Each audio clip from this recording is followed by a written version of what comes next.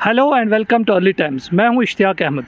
मैं इस वक्त मौजूद हूँ शहर श्रीनगर के नूरबाग वाले इलाके में, जहाँ मैं आपको दिखाना चाहूँगा, ये एक ब्रिज यहाँ पे पिछले 10 साल से। सुनिएगा, पिछले 10 साल से ये ब्रिज इनकम्प्लीट है। जो बहुत सारे इलाकों को कनेक्ट करता है, ये कमरवारी और नूरबाग वाला इलाका यहाँ से है, कमरवारी से नूरबाग वाले इलाके को कनेक्ट करता है। लेकिन हैरान कन बात यह है कि पिछले 10 साल से ये ब्रिज अंडर कंस्ट्रक्शन है।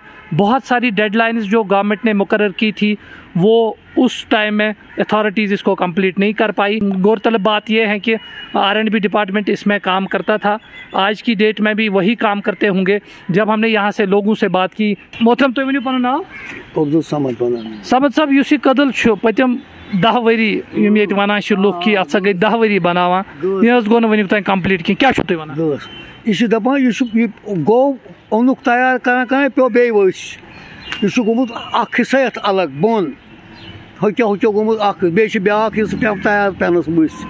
वन अत वन वन क्या वनो अत गई वूर गयस बीन वस गया यह शेरान यह तैयार गसान तुथु गसान वापस फेल वस फेल गोमुत नेसुब और पे पत्थर अतन ब्या तैयार पेनस वो कत लगी कदल कहें यह ज़रूरत है हमारे साथ यहाँ और एक साथी भी है उनसे भी जानने की कोशिश करेंगे कि ये ब्रिज आज तक क्यों नहीं कंप्लीट हो पाया।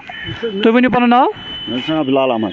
बिलाल साहब ये कदल यह बनो पत्मो दहन वन मज क्या वजह मे बसान मेन शुर तक बड़ी बन तोत तम अत लापरवाही अत सही पे चलान कह अत नफर त्रे गरा हु ठटिस और करान गरा यह ठटिस और करान अत गई लापरवाही यिस खतरनाक लापरवाही गई यह लोग यह लोग गलतन मच कार अत मा ये नफर त्रुह मरम मा ये अत अत यारबल बटिस तल गाड़ रटान हु करान यह करान अत पे अख लार पे अत खुदा दी नजात जान जान आव बिनुल तो बसान यह गह कंप्लीट ना मे बसान अफसोस की बात यह है लोग जो ये कहते हैं कि ये ब्रिज अगरचे ये दो साल तीन साल में कंप्लीट होना था दस साल में भी अभी कंप्लीट नहीं हो पाया है।